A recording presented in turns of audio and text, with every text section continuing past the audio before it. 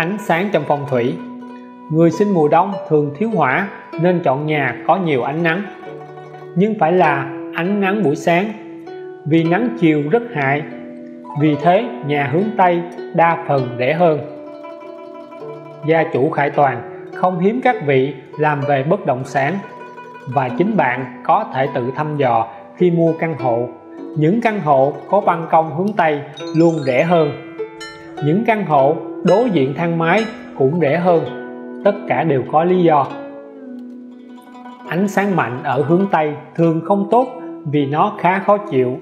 Gặp phải tình cảnh này, nên dùng rèm màu sáng và thật dày để giảm đi sức nóng. Phật giáo dùng thế giới phương Tây cực lạc để nói về thế giới bên kia, thế giới an nghỉ. Thế giới của người chết được phím chỉ ở phương Tây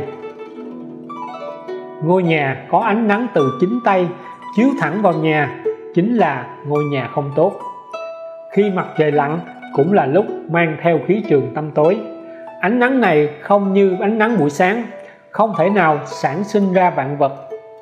Con người từ lúc sinh ra đến lúc về già, đó là quá trình tuần hoàn, quay trở lại trạng thái của sự tĩnh lặng. Tuy nhiên, đừng quá lo lắng. Mọi hình thể đều có thể hóa giải nếu bạn là người sống thiện lành, nếu thường xuyên làm việc buổi tối, người cần kim thủy nên dùng ánh sáng đèn trắng. Người cần mộc hỏa có thể dùng ánh sáng của đèn vàng. Cuối cùng, nếu nhà bạn có phòng ở hướng Tây, nên dành cho người già hoặc trẻ em khó ngủ. Hành lang đối diện với cửa chính sẽ phạm thương sát khí vào vừa vừa và ra ít. Mạnh quá là sát, ít quá thì không luân chuyển. Dòng khí chảy thẳng, chủ sẽ vô tình. Hãy hóa giải nếu phạm cách cục này. Khi cửa chính đối diện một con đường, đối diện con hẻm, không phải là phong thủy tốt.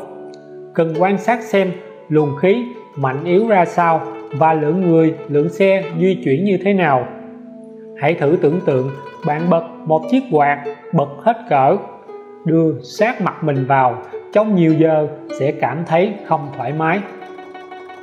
Nếu cửa chính đối diện hành lang dài, khi mở cửa chính, một luồng khí từ ngoài xông thẳng vào nhà bạn. Có nghĩa là nhà này đã phạm sát, phong thủy gọi là thương sát nếu nhà bạn nằm ở cuối hành lang hành lang đâm thẳng vào cửa chính là phong thủy xấu dòng khí chảy thẳng, chủ sẽ vô tình. Bạn có thể đặt một tấm bình phong trước cửa chính. Nếu cửa chính đối diện hành lang không phải là một đường thẳng, mà là một đường dích dắt quanh co, thì không phải đặt bình phong. Thương sát làm chủ trở nên vô tình và có thể rơi vào cảnh nguy nan.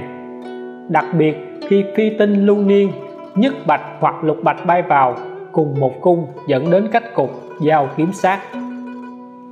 Khải Toàn khuyến nghị các bạn tự ngẫm lại chính ngôi nhà của mình. Có phải luồng khí vào từ từ, đi theo hình chữ Z, rồi ra từ từ là đạt yếu tố tàn phong tụ khí.